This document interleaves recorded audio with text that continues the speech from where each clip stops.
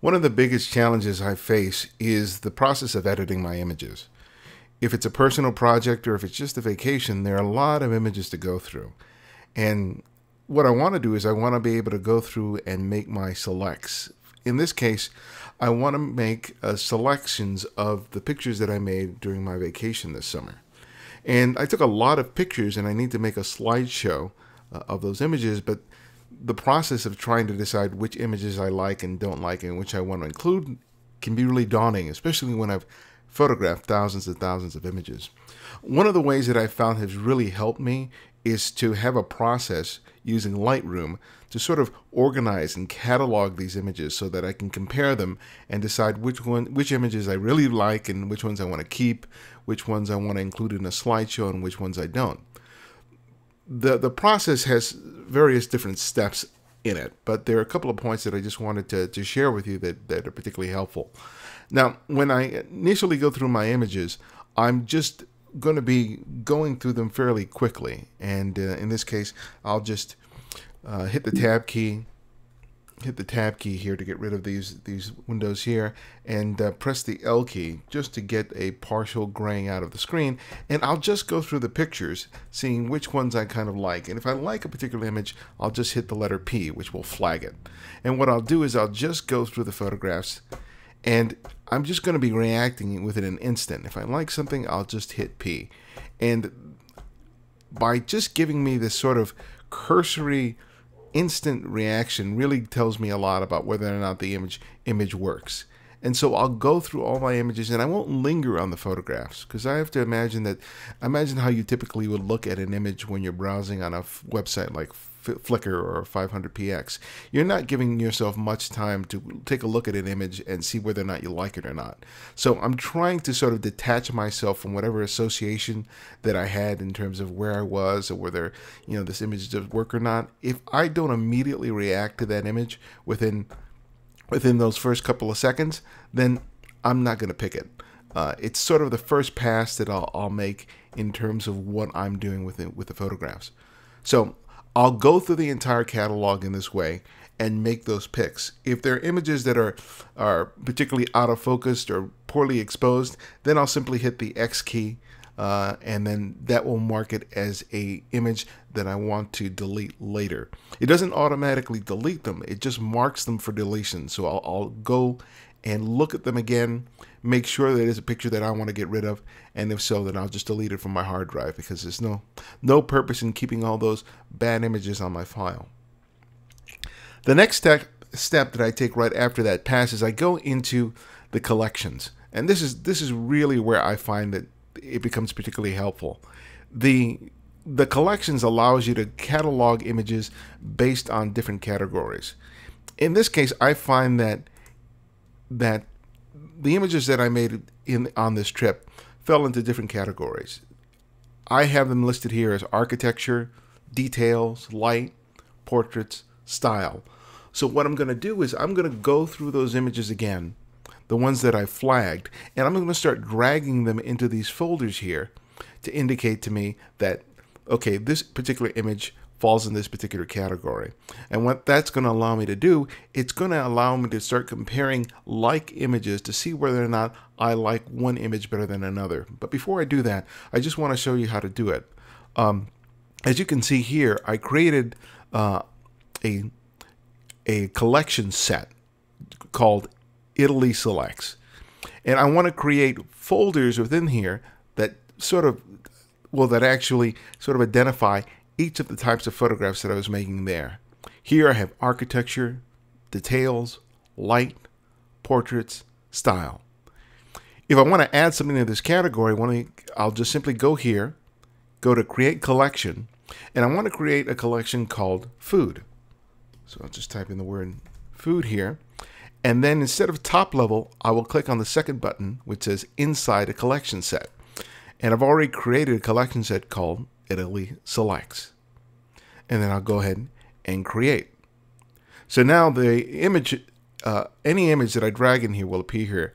This image was selected, was uh, obviously selected, and that's why it showed up in here. Um, but if I don't want that image in there, I can simply delete it and it's no longer in the in that category. This doesn't mean that the image is deleted from your hard drive. Rather, the image is simply deleted from the catalog. So next, I'm going to go through all the images that I've taken, and I'm going to assign these to a different each to a different category. So let me do that, and uh, I'll show you what the next step is. So now that I have set that up, I can start going through the images here and I can start dragging them over. Now you'll notice that I all I'm seeing all the images from the shoot, but I flagged some of them as the ones that I wanted to pick. So what I can do here is I can go to the library filter, click on attribute, and then by clicking on this icon here, it will show me just the images that I flagged uh, when I did my initial pass. So I'm not going to see all the images, but just the ones that I reacted to. I've created these categories here, and what I'm going to do is I'm going to drag images from this this uh, this thumbnail view right into these different categories. And one of the things I immediately noticed was the fact that I have one designated as portraits, but not all the images I took of people involve portraiture. So I want to change that to people. So I simply right click on it and then click rename. And I'm just going to call that instead of portraits, people because there are images in there that include both people and architectural items, and I want to make sure that they're uh, in that category. So simply now, if I want to just drag images, I can take this image here and simply drag it over to details. It does have some element of uh, architecture, so I'll go ahead and include it there. Here's another image that has some details of uh, the building.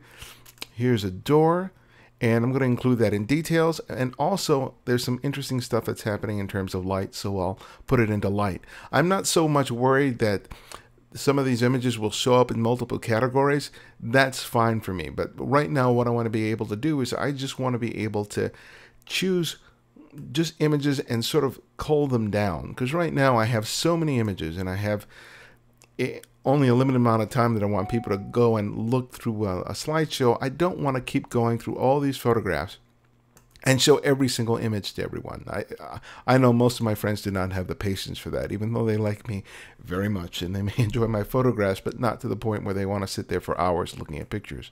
So I'll go in there and I'll just continue to do this. And when I see multiple images like these of people, I'll just drag them in there. And I'll go through all these different categories in here dragging those images in, and you'll see that this cat those these categories will build up as you continue doing that. So now I have all these flagged images, and what I want to do is I want to go into each category and start comparing images to see which ones I really like enough that I want to provide a star designation to them. So right now I just have them all flagged, but I want to start winnowing them down to just a fewer number of images. So I'll click on the architectural uh, collection here, which will just give me those images that are in that in that collection. And I'll hit the C key on my keyboard to get me into the compare. And what you'll see in a moment is that on the left, it will give me the image that is my primary select. And then to the right will be the candidate. And what I'm going to do is I'm going to compare images and see which ones I like more than, than others. So in this case, I like the image on the right much better than I like the one on on the left if I was going to choose between the two. So this image is sort of going to be the the anchor image for right, right now, the one I'm going to compare all the other images to to see whether or not I like them as equally or or more so. So in this case, I'll simply hit on this key here to switch that image over to the left. And now that image becomes my select. And if that's my select, I'm going to hit the number one on my keyboard to give it one star. So now, if I hit my right key, I can start going through my other images. And I'm going to compare all those images to this first one to see whether or not I like this less or more. If I find an image like this one that I really like, and I think it really is as strong as that first image, then again, I'll hit this key here to make this my select and then I'll assign it one star. And I'll continue going through these images, trying to find one that I like. Here's a case where I have two images that uh, I, I really like and I think compare favorably to this. So for the first image, I'll move it over to the left. But before I decide whether or not I want to give it a star or not, I'm going to compare it to the other image and see which of these two I actually like. When I take a look at these photographs, I like this one on the left more because I get this nice backlight uh, in there in the in the couple's hair, and I like the way that their the legs are placed as they're walking. They've kind of walked out of the light in that particular case. So in this case, I'll keep this one here, and I'll assign a one value to it, or one star, and then I'll continue going through the other photographs. So I like that one over here, so I'll move it over to the left and make it my select and then I'll continue going through the images and I'll go through this whole process to sort of start figuring out what are the images that I really, really like. And you'll see that there's certain images that I just pass up because at that point I kind of know, you know, I, I don't really like that. So I don't want to assign a star to it because it just doesn't compare as favorably to the other images. And I'll go through this whole process with each individual category. So what will happen is when I go back into my grid view, I start looking and I look at attribute. I can assign not only the images that are flagged, but the ones that are rated with one star. And you'll see that I have a smaller grouping of images at this point. So I've gone, gone from those thousands of images that I initially started with, and I start refining my selects to, to just choose those images that I like in each particular category. I'll do that for all the categories and eventually I'll just have my first pass of my edits. So I'll have all these images from all these different categories and using this library filter I'll be able to select all the images that I flagged and the ones that I've assigned one star to. And that will probably give me a much more workable number of, of images to which to start working on in Lightroom in terms of adjusting white balance, contrast, you know, and doing any of the other things that I want to do with the photographs. I find that this process really allows me to figure out which images not only look good, but work really well in telling the story of my vacation. So I hope that's helpful to you, and uh, I'll be seeing you soon. You can find out more about everything that we do at The Candid Frame by visiting thecandidframe.com, where we have interviews, uh, product reviews, commentary, and all things great about photography.